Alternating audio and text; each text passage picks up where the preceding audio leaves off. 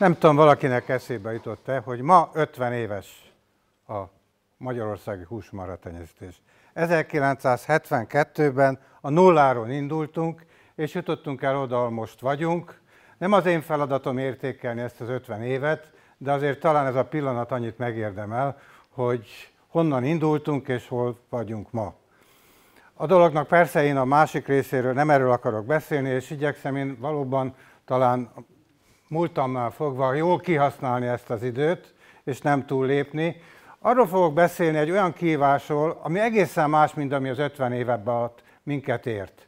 Ott zömében szakmai kívások voltak. Ma olyan kívásokkal szembesülünk, aminek nem sok köze van a mi szakmánkhoz, de mi elszenvedői vagy elviselői vagyunk, és hogyha valamit akarunk tenni a húsmarat tartás, húsmarat tenyésztés érdekében, akkor ezekkel szembe kell nézni, és én nyilván ezt próbálom egy kicsit körbejárni. Tehát két kihívásról lesz szó, hogy ezt 20 percben átmondjam, az csak úgy megy, hogy nagyon leegyszerűsítem, és nem fogok sokat mesélni róla. Legfeljebb gondolatok legyenek, amiből utána mindenki tovább gondolja a problémát.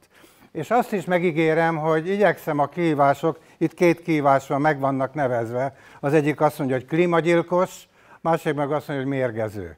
Ezek olyan kihívások, olyan állítások, amelyekkel mi nekünk szembe kell nézni, és hát emögött legenda, szájhagyomány, egy csomó indulat, emóció van, de én nem így akarok rá válaszolni, hanem felvállaltam azt, hogy próbáljuk megnézni, mi a tény, mit lehet tenni, és tulajdonképpen mi várható ezeknek a következtében. Tehát ilyen értelemben én nem a emocionális, hanem sokkal inkább a szakmai részével szeretnék foglalkozni. Az első kérdés az, hogy a szarvasmara klímagyilkos.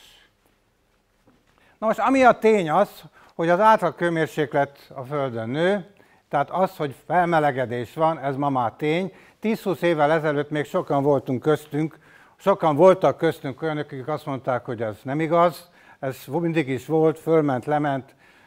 Ma azt kell mondanom, hogy anélkül, hogy a jövőben látnék, hogy ezt sajnos olyannak tekintjük, ami valós tény, tehát ehhez igazodni kell, és hogy ebben a bűnösöket, a hibásokat meg kell találni, és kell változtatni, ha túl akarjuk élni ezt az időszakot. A okok keresése közben, nagyon röviden válaszolva, az üvegházhatásokat nem lehet kihagyni. Nyilván az üvegházhatások felelősek elsősorban azért, hogy a föld átlaghőmérséklet emelkedik, és ebben nekünk nyilván végig kell gondolni, mik a korlátok, mik a lehetőségek. Elég sokan látták nyilván itt most már nem csak a első nagyon bizonytalan és hibás elemzéseknek a, eredményét, hanem azt mutatom be, amit ma már többé-kevésbé a szakma elfogad, és pedig az, hogy ebben a e, üveggázok hatás kibocsátásban mi szarvasmarha tenyésztők, a kérődzők hozzáteszem, ebben kicsit a birkások is benne vannak, 16%-ban veszünk részt. Lehet ez soknak, lehet kevésnek tekinteni, ha többi szeletet nézzük, akkor nyilván látjuk azt is, semmi meglepő, hogy a fosszilis energia nyerése és felhasználása, olaj, gáz, szállítása, kibányászása, a közlekedés. Tehát ezek nyilván hatalmas mennyiségű olyan gáz bocsátanak ki, amihez hozzájárul, de ami nagyon fontos az, hogy a lápok, tehát ez olyan biológiai objekt, felületek is, amelyekre kevésbé gondolunk, mocsarak, lápok. Itt talán sokan hallottak róla, hogy a lápok a felmelegedés következtében még nagyobb kibocsátást érnek el. Tehát rendkívül sokan vannak a rizsföldek a, a tekintetben, a, a humán tevékenység, a szennyvíz, a, a hulladékkezelék, stb. De ebben a mezőnyben sajnos ott vagyunk 16% kal és ezt nem lehet vitatni. Biológiai tény, tanultuk, tanítottuk azt, hogy tudnék a kérődző a bendő emésztés során az ott lévő baktériumok hatására metánt bocsát ki, ami nagyobb részt el a száján, kisebb részben pedig a végbélen át távozik. Tehát ez mindenképpen hozzájárul ahhoz az üvegház hatáshoz, aminek a káros hatásaival szembesültünk. A kérdés az, hogy ez a metán kibocsátás, amit a kérődzők tesznek, ez valóban az a tétele, ami ezt a folyamatot, ezt a felmelegedést elindította. E tekintetben van két olyan tény, amit én érszként szoktam felhasználni azokkal szemben, akik ezt állítják, hogy nem. Előre mondom a nemet, de a két érv az úgy szól, az egyik az, hogy és nyilván itt most néhány olyan publikációból kiemelt számításokat, táblázatokat mutatok be, nem akarok nagyon a háttérbe menni. Például az USA-ban kiszámolták, hogy a, a múltbéli kérődzők, a vadkérődzők, a bivaj, a, vad, a különböző szarvasfélék metán kibocsátá, és a, és a jelenlegi USA szarvasmár állományának a metán kibocsátása milyen viszonyban van egymással. Pontosabban kiderült, hogy alig van különbség hiszen nyilván ki, ki a Buffalo Bill kiirtotta a börényeket, jött helyére nyilván szarvasmarha, de összességében a kérődző állomány metánkibocsátása ma nem nagyon tér el attól, amit a közelmúltban, vagy talán a távolabbi múltban ez a szektor egyáltalán kibocsátott. Ez egyik érv amellett, hogy nem történt itt olyan brutális átalakulás, ami indokolná azt a hőmérséklet emelkedést, amire az előbb hivatkoztam. A másik pedig az, hogy itt két grafikont egymás alá tettem, az egyiken az alsó, az tulajdonképpen az előző grének egy másik vetülete, hogy hogyan változott időben a metán emisszió a Földön, és kiderül, hogy hát nem olyan régóta indult el ez a emelkedő folyamat, a 70-es években indult, és gyakorlatilag az utóbbi 15 évben aztán látványosan elindult fölfelé. Tehát valami olyasmi történt, ami ezt a folyamatot beindította. Na most, ha a felső grafikon nézzük, ott meg a világ különböző állatállományainak az összlétszáma látható, és annak a legfelső vonala tulajdonképpen a kérdező. Kiderül, hogy alig van érdemi, van némi növekedés, hiszen a világ fejlődik, olyan helyeken is tartanak marhát, aki korábban nem, de gyakorlatilag annak a görbének a nagyon pici emelkedése abszolút ellentmondásban van azzal a görbével, ami alul van. Tehát tulajdonképpen ez a két érv, amit én itt bemutatok, lehetőség szerint tényszerűen, adatszerűen és tudományosan megalapozottan, ez a két tény ellentmond annak, hogy ennek a klímagyilkosságnak mi vagyunk tulajdonképpen az okai. Nyilván sok minden más szempont van, de én nekem ebben az időben maximum arra van módom, hogy két ilyen tényt felemlítsek, használjátok fel akkor, amikor érvelni kell a saját érdeketekben. De ne álljunk meg itt, hogy megmondjuk azt, hogy semmi közünk hozzá, mert nyilván a metán kibocsátást csökkenteni kell, hiszen ez akkor is a, a itt élő emberiségnek egy központi feladata. Mi a magunk területén, tehát nem a, hogy mondjam, a gáz, energia és a hulladék területén, hanem a szarvasmartenyésztés területén mit tehetünk. Fölsoroltam itt néhány olyan dolgot, megint, ami talán segít minket abban, hogy ebben a elég egyoldalú küzdelemben a, mar- a piacon mi hely tudjunk állni. Nos, hát az egyik az a létszám csökkentés lenne, ami ellen valószínűleg mindenki tiltakozik. Én is azt mondom, hogy nem ez az út, mert hiszen tejet, húst kell termelni, nő az emberiség. Tehát nyilván nem arról van szó, hogy mi lemondhatunk erről a élelmiszerforrásról. A másik az, hogy a hatékonyság növelése, ez nyilván mindenütt fontos és lehetős, jó lehetőség, nem csak a marhában, másutt is. Itt is egy olyan táblázat, sokan sok helyen használtak, Horn akadémikus többször vetítette már föl, itt sok nagy táblázatot látunk, ne nézzék a számokat, csak az alját. Azt nézi, az a táblázat egy amerikai elemzés, hogy mi, lett, mi, volt, mi lenne, ha Amerika tejtermelését ma a 50-es évek technológiával állítanák elő, és ahhoz mennyi szarvasmarha kellene, és ennek mennyi lenne a gázkibocsátása. Igen ám, de közben tudjuk, hogy a tejtermelés hatékonysága brutálisan megnőtt, a mai nyilván Holstein teljesítmény, és azért 2007-es van itt ebben a táblázatban, de ennél már túl vagyunk, kiderül az, hogy kb. negyed annyi létszámmal, negyed annyi tehénnel megtermeljük azt a tejszükségletet, ami kell. Negyed annyi tehén nyilván negyed annyi metánkibocsátás jelent. Egy picit többet, mert nyilván a teljesítmény növekedése valamelyest növeli a metánkibocsátást. Tehát magyarul a létszám déltemben nem változott, a hatékonyság segítségével konkrétan a terőállományban inkább csökkenést, metán kibocsátás csökkenést sikerült elérni. De nyilván a hatékonyság csökkentésének itt látható további két lehetősége. Ebből az egyik, az, és tulajdonképpen erről fogok még majd szólni, a utolsóról, a, a, bocsánat, talán ez lesz a szerencsébb, hogy az új biotechnika eljárásokra én már nem nagyon fogok beszélni, mert az időben nem fér bele. Konkrétan arról van szó, hogy vannak a mai modern biotechnikai, biotechnológiai módszerek között olyanok, milyen lehet olyan takarmány adalékokat, olyan takarmányokat elállítani, amit a marha, ha megemészt, kevesebb metán bocsátódik ki. Vannak ebben ígéretes eredmények, ez még messze nem a mai gyakorlat. Sajnos azt is meg kell mondani, hogy legtöbb esetben ezek az eredmények azt is jelentik, hogy csökken a termelés. Tehát tudunk újat kitalálni, új baktériumot, új takarmányforrást, de ezekkel megél a marha, de ugyanazt a teljesítményt már nem fogja hozni. Lehet, hogy ez változni fog majd később.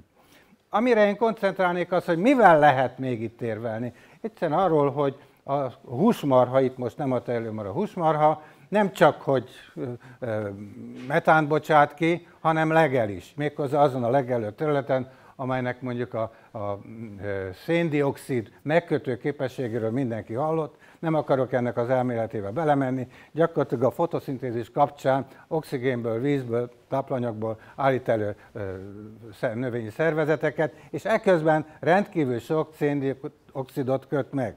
Na most igen ám, de a széndiod megkötő képesség az attól függ, hogy mekkora felületen van klorofil, ami ezt a funkciót eltölti. Hát először is hatalmas felületen, itt egy világméretű hát grafikonon lehet látni, körülbelül a föld szárazföld készletének majdnem egy negyede gyeppel borított, azzal a gyeppel, ami ezt a funkciót, nevezetesen a széndiokszid megkötőst képes ellátni. És amit a növénytani tanulmányaim kapcsán tanultam, és meg is erősítettek, hogy ez a felület nem csak hogy abszolút, hanem változik is. Tehát nyilván, ha ez a intenzíven növekszik, mondjuk kaszáljuk, mondjuk legeli a mara, akkor intenzíven hát, szaporodnak azok a felületek, amelyek széndiokszidot képesek megkötni. Vagyis, ha a gyep önmagában, és ha ezt a gyepet legeltetjük, kaszáljuk, hasznosítjuk, akkor ezáltal nő az az oxi, fotoszintézisus felület, ami széndiokszidot képes megkötni. Én azt hiszem, ezek elég jó érvek ahhoz, hogy, hogy ezen az úton elinduljunk a megoldás, és főközképpen a mi szakterületünknek a értelmes reakciója irányába. A magyar adatokat itt már sok minden kapcsán említettük. Magyarországon is több mint félmillió hektár olyan gyep van, ami ezt a funkcióját be tudja tölteni, és hogyha az a gyep program, amiről itt szó volt, máma működik, és majd előre megy, akkor talán ez a fellet is növekszik, és ezt a széndiokszid megkötő képességet a húsmarha segítségével, hát a juhot is ide sorolom, lehet növelni, és ezzel mi ahhoz a világ problémához tudunk segítően hozzájárulni, ami az üvegházgatás, üveghatás, üveggáz hatású gázkibocsátást csökkenti. Tehát a válaszom most már nagyon egyértelműen az elmondott három valós tény tükrében nem mi vagyunk a klímagyilkosok.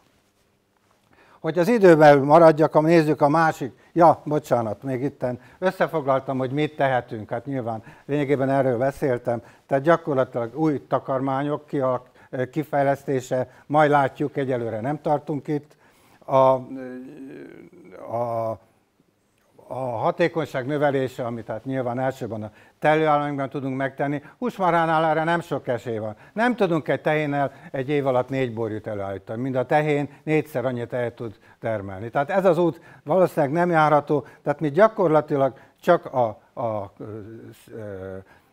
gyep használattal és a gyep használaton keresztüli széndiokszid megkötéssel tudunk érdemben hozzájárulni ehhez a világ problémához. A jövőképerről annyit, hogy én úgy gondolom, nagyon fontos, hogy újra, haszna, újra gondoljuk azt a problémát, ami a gyeppel kapcsolatos. Erre ma már volt szó, én nem akarom megismételni. Ez nem pusztán támogatás kérdése, hogy mondjuk a Natura 2000-es területeken lehet-e kivinni a téri trágyát. Most csak egy konkrét példa, amiről ugye mi sokszor beszélünk egymás között, hanem arról, hogy ezen keresztül a klímavédelemet is hozzá tudunk járulni. Ez talán egy olyan érv, ami nem nagyon szokott elhangozni azokon a fórumokon, ahol ennek a elsőbben a, a agrárpolitikai aspektusai tárgyalja. És hát gyakorlatilag e, nyilván további intenzív kutató munka kell, ne hanyag, ne e, tekintsük el reménytelen, ne tekintsük reménytelennek azokat a munkákat, ami a biotechnikában van. Látjuk, hogy mi mindenre képes, hát ha erre is tud majd valami megoldást találni. Na nézzük a másikat, hogy időn belül maradjak, a vörös hús mérgező. Ez a másik kívás, ha úgy tetszik, másik vád ellenünk. Itt is próbálok azért a tárgyszerűségen és a tudományos megállapításokon maradni, frontján maradni, mert itt is rengeteg legenda, rémhír, időnként, ha úgy tetszik, emocionális érzelem dúl a világban, erre nem így akarok válaszolni. Alul ott apró betűvel egyébként én azokat a forrásmunkákat jelöltem meg, ha valaki kíváncsi, ahol elsősorban azokat a számításokat végezték el, hogy tudnék a, a vörös hús, ez alatt ugye nem csak a, egyébként nem csak a marhát, hanem a sertéshúst vagy a vadhúst is értik, ez e, tulajdonképpen okoz-e egészségkárosodást. Lehet erre azt mondani nagy vonalon, hát a nagyapám is ette, és sokáig élt, de ez a megközelítés tőlem elég távol van. Ezért mondom, hogy vegyük ide a tudományos bizonyítékokat. Akik ismernek közelre, tudják, hogy ebben egy picit emocionálisan érintett vagyok, mert a fiam az Londonban epidemiológus, tehát ezekkel a kérdésekkel, azok, azokkal az emberekkel dolgozik együtt, akik ezeket a megállapításokat tettek, tették, és tulajdonképpen nyilván én próbálom, amennyire lehet a saját magunk szempontjából ezt úgy végig gondolni, hogy ebből mi az, amit, aminél, amin nem tudunk kitérni, és mi az, amivel igen. Nos, hát azt lehet mondani, hogy a legdurvább, pontosabban a legkeményebb állítás az, hogy 50-100 grammos napi vöröshús fogyasztás az bizony a, a szív- és érrendszer betegség kockázatát növeli. Nem lehet ezt nem tudomásul venni, milliós ember számra 8-10 éves nyomonkövetéssel készülnek ezek a vizsgálatok, tehát nem arról van szó, hogy valamelyik PHD diszertációban valaki ezt kitalálja. Én azért azt gondolom, hogy ezt komolyan kell venni. Az is biztos, hogy ez a számoljunk után 50-100 g, ez jelent évente 20 25 kg marahús fogyasztását. Ettől mi nagyon messze vagyunk, 3 kilónál vagyunk, és az európai átlag is 6-8 kg. Vannak nyilván Dél-Amerikában, USA-ban 30 kilós fogyasztások, de alapvetően nincs szó arról, hogy ezt a fogyasztást mi tulajdonképpen rendszeresen elkövetjük, és ezen keresztül a utódainkat vagy önmagunkat pusztítjuk. És hát azt is hozzá kell tenni, hogy ezek a hatások elsősorban a feldolgozott ennél fogva tehát tartósítószerrel és egyéb más ipari vagy élelmiszeripari adalékkal ellátott, feldolgozott húsra igazok. A, a, hogy mondjam, a tiszta hús esetében már a tudomány is ennél lényegesen kisebb egészségügyi kockázatot állapított meg. Ezzel együtt ezzel számolni kell, és nagyon valószínű, hogy sok minden más fognak még találni. Ilyen értelemben én azt tudom mondani, hogy mi azt képviselhetjük, hogy a marhahús fogyasztása azokban a korlátokon belül, ami az egészséges, kiegyensúlyozott táplálkozásra szükséges, az nem jelent veszélyt. A marahús összetételére is hivatkozhatunk, sok helyen irodalomban megtalálható, nem akarok végigmenni rajta. Tulajdonképpen a pozitívumokat jól tudjuk, a B12 vitamin, a, vas elsősorban cink, mangán, ami benne van. Sőt, még azt is hozzá szoktam tenni, hogy a zsírsav tartalmamban ma nagyon hangoztatjuk, hogy hát tulajdonképpen a, a terjedetlen zsírsavak arányát növelni kell az egészséges táplálkozás ügyében. Ebben sikerült lassan most már oda eljutni, hogy a rengeteg növényi és növényi alapon élelmiszer kiegészítő hatására ma már inkább úgy ott tartunk, hogy a, a omega-3 és omega-6 zsírsavak aránya a nem kívánatos arányban eltolódik, tehát ehhez tulajdonképpen a a marahús segít ennek az egyensúlynak a fenntartásában, és legalúra tettem egy olyan piros csíkot, ami, ami talán mindezt, amit mondok, áthúzza, de remélem nem, nyomoznak utána, hogy találnak-e konkrétan olyan vegyületet, vagy olyan, olyan kémiai anyagot, itt elsősorban olyan monoszharidát keresnek, ami ténylegesen összefüggésbe hozható ezzel a betegséggel, ezekkel a betegségekkel. Ha igen, akkor kérdés, hogy ezt majd hogyan lehet kiverni, de ez egyelőre csak azért mondom, hogy veszély, mert ez lóg a levegőbe. Egyelőre nem igaz, mert ezt ma senki nem bizonyította még be. Szólni kell a műhorsról, mert ez egy olyan marketing probléma, amivel szembesülünk, és amely a tudományos háttér mellett elsősorban azt képviseli, amit nem a tudomány, hanem a piac. Na most itt tulajdonképpen arról van szó, hogy elindult egy mozgalom, ez a vega mozgalom, nyilván nem akarok senkit megbántani, Ennek jegyében két olyan termék jelen meg a piacon, amivel a, a modern, változó igényeknek megfelelően a különböző vállalkozások, startupok és különböző élmiszépő cégek megpróbálnak teret nyerni, és ebben gyakorlatilag a kétféle műhúsról van szó. Ezt idézőjelben teszem, mert mi tiltakozunk az ellen, ez nem hús. Nem hús, tehát az egyik dolog az, hogy marketing szempontból van is erre az Európai Unióban kezdeményezés, ne engedjük, hogy húsnak nevezzék őket, de gyakorlatilag az a mű élelmiszer, amit húsnak neveznek, az gyakorlatilag azokból a növényi hát, alkotórészekből áll össze, amit jó ismertek, és elsőben nyilván a fejretartalmú pillangósok és szója és, és egyebek. De természetesen ahhoz, hogy ezt húsként lehessen értékesíteni, egy csomó adalékanyag kell hozzá, itt felsoroltam részben vegyszereket, részben kémiai anyagokat, részben pedig olyan kiegészítőket, amit az élelmiszeripar rendszeresen használ. Ezekkel lehet többé-kevésbé összeállítani ilyet, lehet ma már kapni ilyet, ízlés dolga, hogy mennyire fedi a marahús ízét, nem nagyon, mert sok mindent lehet pótolni, de az az ízvilág, amit a minőségi marahús, és általában ami az íz, azt már nehezebben lehet pótolni.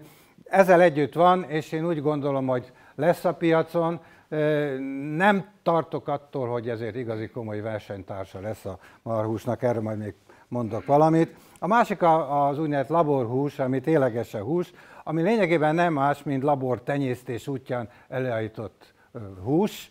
Ezt nyilván elsőben ott az ipar ott kezdte el fejleszteni, ahol, ahol szerv, don, szerv tehát donor anyagokat próbáltak elállítani, és ez ma orvostudományban nagyon erős szegmens, és itt tulajdonképpen biopsziával nyert mintákból, elsősorban őssejt mintákból irányítottan szaporítanak és állítanak elő műhúst. Ez is elég jól áll, azt kell mondanom, hogy meg lehet elég jól csinálni, de csak azt, hogy egy képet hadd tegyek hozzá. Körülbelül ilyen e, ipari háttér kell. Szóval olyan e, csúcs technológiával működő laboratóriumok, tudnék, ez olyan táptalaj kell, ami a, mondjuk a agar-agar, amiről tanultunk, sterilnek kell lenni, egyenletes összetételűnek kell, meg kell akadályozni, hogy ebben a baktériumok mutációval megváltozzanak, mert akkor a végtermék is változik. Ez olyan borzasztó költséges technológiát jelent, amit egy szerv eh, donornál meg lehet csinálni, alig ha hiszem, hogy pillanatilag versenyképes lenne az élelmiszer piacon. Tehát ilyen értelemben ez egyelőre a távlati eh, lehetőség, és én nagyon-nagyon úgy gondolom, hogy ez, ez nem lesz igazi versenytársunk a piacon. A műhús piaci esélyeiről pedig hát tulajdonképpen összefoglalni azt írtam, hogy egyelőre drága, különösen a, a szintetikus hús. Hát nyilván persze ebben a változó világban minden lehet. Volt az elmúlt időszakban szinte minden ismeretlen új termék a piacon nagyon gyorsan teret nyart, a kíváncsiság, a fizetőképes kereset elindult abba az világba, én egy kicsit azért úgy gondolom, hogy van egy némi ellentmondás itt a vegán és a nem vegán mozgalom között, de amit még fontosabbnak tartok, ez a ma, 2022, nem tudom, május, április 7-e van. Szóval érezzük, hogy a világ változik, és ez nem politika. Változik a világ, és ebben a változatosságban a stabilitás, a, a, a helyben maradás, a termékeknek a helyben megtermelése, a globalizációs folyamatoknak a fékezése meg fog indulni, és ez nem segíti az ilyen műhús és szintetikus húsnak a világpiaci terjedését, mert mindenki inkább próbál a maga területén maradni. Tehát én ezért úgy gondolom, hogy ezek nem elhanyagolható veszélyforrások a piacon, de nem jelentenek olyan volumenet, volument, ami a mi tevékenységünket a belátható időn belül gyökeresen megváltozna. Én ezért úgy gondolom, hogy, hogy tegyük tovább azt, amit akarunk. Nyilván a marahús esetében azt a kulináris élvezetet, azt az kulináris értéket, amit képvisel, azt fel kell használni, ez nyilván egy szükebb piacon tartósan jelen van, ez inkább feldolgozó kapacitást, márkázást és egyéb olyan eszközt kell bevetni, amivel ezen a piacon biztosan helyet vagy, helyen vagyunk, és ellen tudunk állni azoknak a tömeg termékeknek, amelyek a marahús kiszorításán vállalkoznak. Hát záró gondolat. Nem én találtam ki ezt a Sütő Zoltán kollégám használta először, de elég bölcsnek érzem ahhoz, hogy használjuk föl mi is. Köszönöm a figyelmeteket!